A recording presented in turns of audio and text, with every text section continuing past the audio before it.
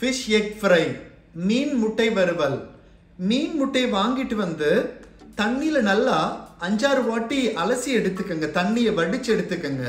அதுக்கப்புறம் அதில் கொஞ்சமாக மிளகாய்த்தூள் மஞ்சத்தூள் உப்பு சேர்த்து நல்லா மிக்ஸ் பண்ணி இதை அரை மணி நேரம் வச்சிருங்க.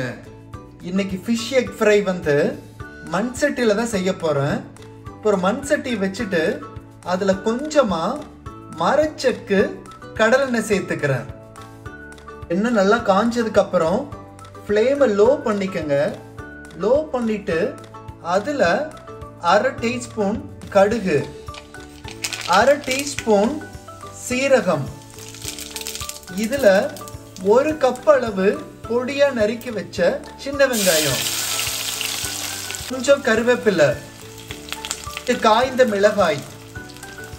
சேர்த்து இது எண்ணெயில் நல்லா வதக்கி விடுங்க. சின்ன வெங்காயம் நல்லா எண்ணெயில் வதங்கிருச்சு. எண்ணெயோட அளவு நீங்கள் எப்பொழுதும் சேர்த்துறத விட கொஞ்சம் அதிகமாக சேர்த்துக்கங்க. அப்போ தான் வந்து ஃபிஷ் எக் ஃப்ரை டேஸ்ட் நல்லா இருக்கும். இப்போ ஒரு மீடியம் சைஸ் தக்காளியை இந்த மாதிரி பொடியாக கட் பண்ணி இதில் சேர்த்துக்கங்க. சேர்த்துட்டு அதை நல்லா எண்ணெயில் வதக்கி விடுங்க. இப்போ தக்காளி நல்லா எண்ணெயில் வதங்கிருச்சு.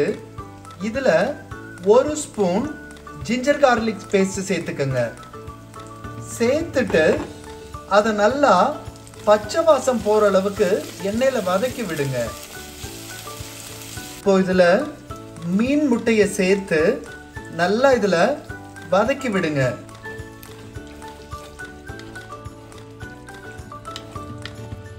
இப்போ இதில் கொஞ்சமாக கரம் மசாலா சேர்த்து கிளறி விடுங்க.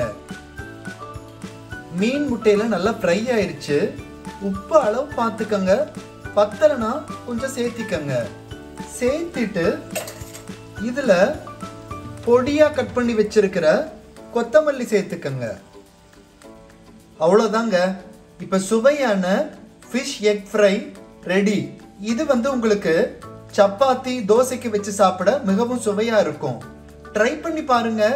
எப்படி வந்தது அப்படிங்கிற உங்க அனுபவத்தை கமெண்ட்ஸ் பாக்ஸில் கமெண்ட்ஸ் பண்ணுங்க.